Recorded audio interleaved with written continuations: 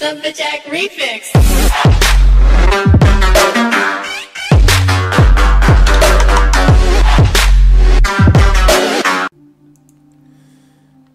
And the break Breakheart Banks is to the east here. Right by the slog. Breakheart Banks, Greentop Nursery, the slog. Okay, so I'm walking around and uh, see this guy by this rock ledge over here, and it, it looks like he's floating, and he definitely is floating.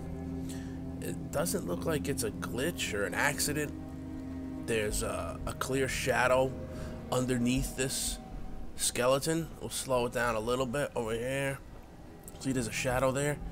Um, and the funny part was we're gonna walk up to it I wish I didn't do this, but we knock it down off of its floating platform, and then, uh, yeah, and then he's there. And then we tried to go back on different saves and look for it, and he wasn't floating anymore. So if you have any idea what this is, or if you've seen this, post it in the comments. Thanks for watching.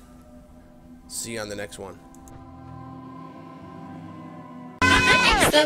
Remix.